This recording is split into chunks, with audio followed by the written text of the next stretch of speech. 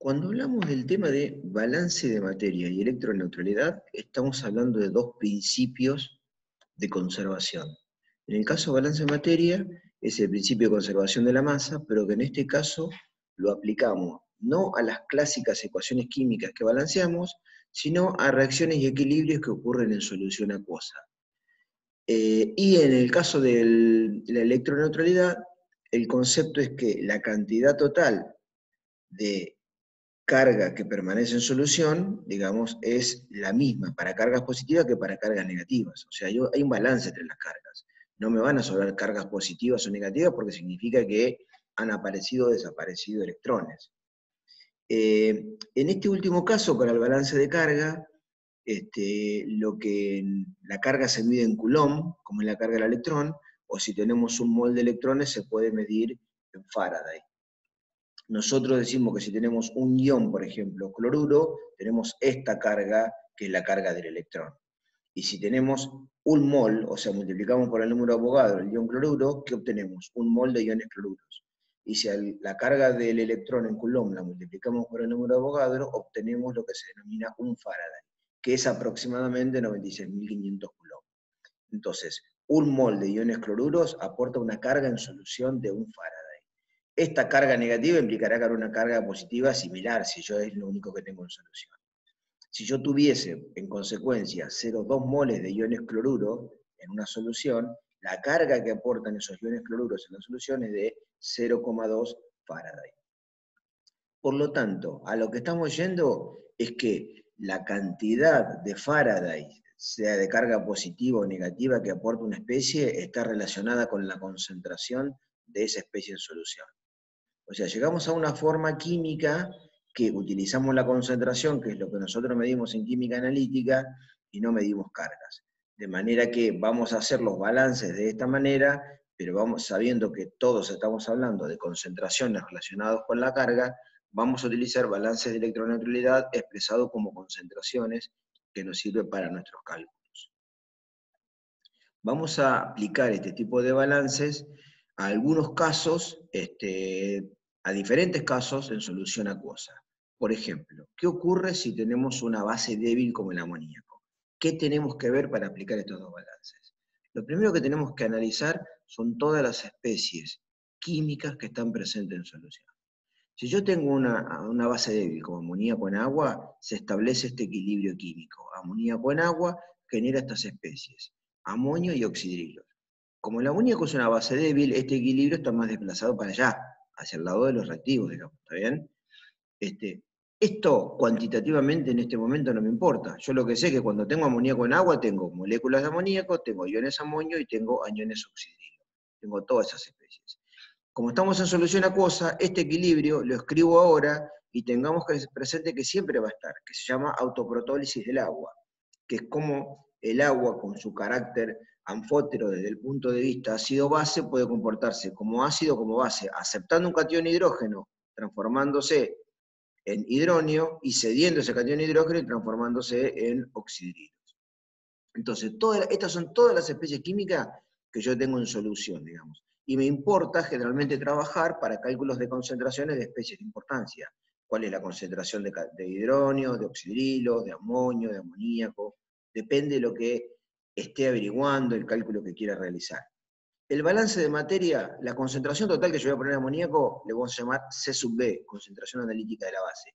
¿Esto qué es? Todo lo que yo pongo de amoníaco, Todo lo que yo pongo de amoníaco, si nosotros vemos este, este primer equilibrio químico, que escribí acá, no permanece como moléculas de amoníaco, sino que parte del amoníaco se transformó en qué? En iones amonio.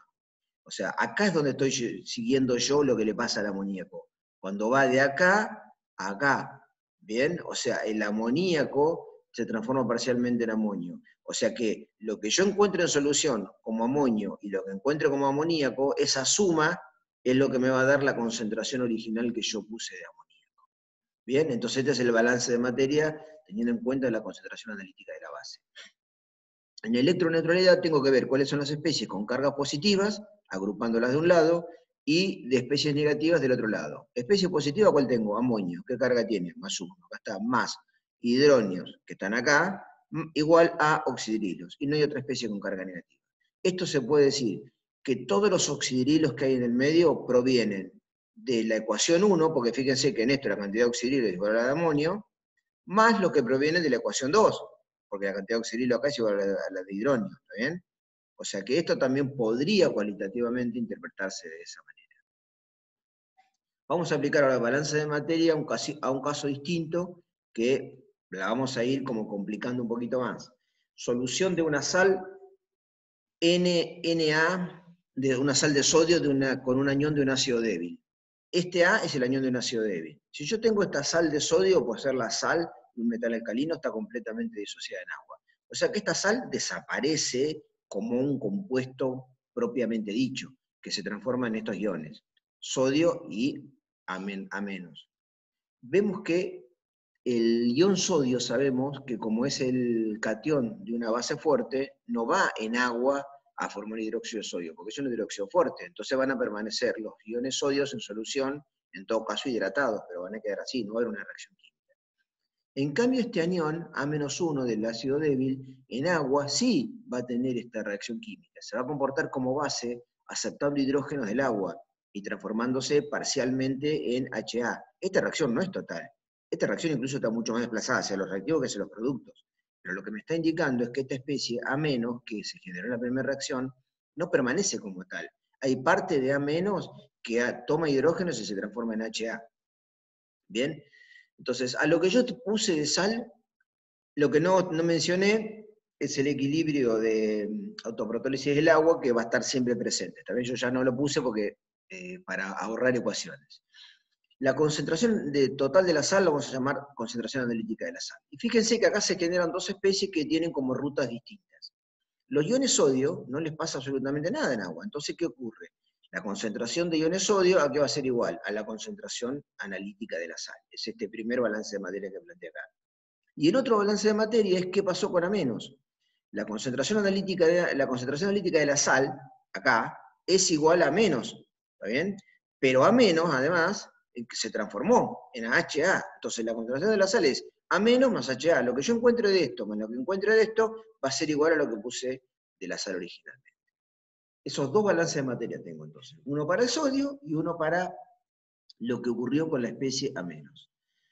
Y en la electroneutralidad, lo mismo. Tengo que poner de un lado las cargas positivas y de otro lado las cargas negativas. Carga positiva, ¿quién tiene? El ion sodio, los iones hidróneos, que no están acá, pero ya les dije, el autoprotólisis del agua, los oxidrilos y los iones amenos. Todos tienen carga simple, entonces se, ponen simplemente las concentraciones. Cargas, cargas positivas de un lado, cargas negativas del otro lado.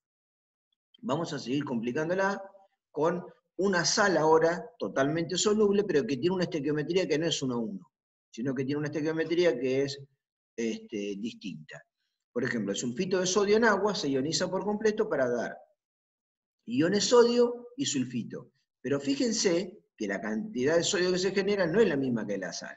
La concentración de sodio va a ser el doble que lo que yo puse de sal. Eso lo vamos a ver expresado en el balance de materia que hacemos acá, que está acá, de esta manera. O sea, la concentración de sodio no es igual a la de la sal, sino que es el doble que la concentración de la sal. Y después la concentración de la sal también me generó sulfito. Pero el sulfito es el anión de un ácido débil, entonces, ¿qué le ocurre? Fíjense, en agua se comporta como una base, va tomando hidrógenos del agua para dar sulfito ácido. Y el sulfito ácido también puede seguir tomando hidrógeno del agua, comportándose como base y dar ácido sulfuroso. Por lo tanto, el sulfito que se generó en la primera reacción cuando disuelvo la sal en agua, ¿qué ocurre? Puede estar como sulfito, seguramente, mayoritariamente estará como sulfito, pero también puede estar en parte como sulfito ácido y en parte como ácido sulfuroso. Entonces, cuando yo digo que la concentración de sulfito originalmente es igual a la concentración de la sal, es cierto, pero ahora le tengo que sumar todas las otras especies que se pueden haber generado a partir del sulfito. Porque si yo estas dos especies no las considero y digo que esto es una igualdad, desde el punto de vista exacto no es cierto, porque parte del sulfito se ha transformado en las otras dos especies. Cuando vamos al balance de electroneutralidad, busco las especies positivas para agruparlas de un lado y las especies negativas del otro lado. Especie positiva, iones sodio, hidróneos. Eh, sí, cationes hidrógenos. Y especie negativa, sulfitos, sulfito ácido y oxidrilos. Acá en sulfito, fíjense que le puse un 2. ¿Por qué? Porque por cada mol de sulfito que aparezca en solución, la cantidad de carga que aporta es el doble, porque tiene carga menos 2. O sea, yo no cuento si encuentro un mol de sulfito, un Faraday, no, la cantidad de Faraday que encuentro es doble. Pero como acá lo expresé en función de la concentración, digo, si la concentración que encuentro es 1 molar, la cantidad de Faraday tiene que ser el doble, por eso este 2 va acá. Recordar que si nosotros acá, si bien no estamos poniendo los Faraday, porque se simplifican en todo, y para nuestra comodidad es mejor expresarlo en términos de concentraciones para los cálculos, siempre es como este es un balance de cargas, los Faradays los hemos simplificado y lo expresamos en forma de concentraciones. Por eso este 2 que está acá implica que la carga es el doble de esa concentración. Vamos a un ejemplo aún un poquito más complejo, que es el último que vamos a abordar, mezclando un ácido débil, acético, y una sal del anión de ese ácido débil, como acetato de calcio. O sea, tengo dos fuentes de iones acá. ¿Qué pasa con el ácido débil? Tiene este equilibrio de ionización en agua. ¿Sí? Se comporta como un ácido débil que cede un catión hidrógeno al agua y queda acetato e hidrógeno. La sal, acetato de calcio, ¿sí? una sal soluble en agua que me da iones calcio y iones acetato. ¿Qué pasa con los iones acetatos? ¿Permanecen como tales? Generados acá, no, porque reaccionan con el agua para dar que acético. Esta reacción, nuevamente, recuerdo que está mucho más desplazada hacia los reactivos, ya vamos a ver los valores de constante que nos van a, a fundamentar un poco más desde el punto de vista cuantitativo esto que estoy diciendo. Pero esta reacción se encuentra más desplazada hacia la izquierda que hacia la derecha. Pero lo importante que quiero es que desde la sal, dejemos de ver un segundo el ácido débil, desde la sal se genera calcio y acetato y el acetato no permanece todo como tal, sino que parte del acetato se transforma en ácido acético. Pero miren esta relación estequiométrica acá. Lo de acetato que se genera no es igual que la de la sal, sino que la cantidad de acetato es el doble. ¿Está bien? O sea que lo que yo lo que tenga de acetato y acético acá va a ser el doble de lo que puse de la sal. A la concentración analítica de esta sal la vamos a llamar C sub S y a la concentración analítica del ácido D lo vamos a llamar C sub A. Entonces, cuando vamos a hacer los balances de materia, vamos a tener, por ejemplo, vamos a empezar por la parte más fácil, el calcio. Solamente se genera acá, y la concentración de calcio que se genera es igual que la concentración analítica de la sal.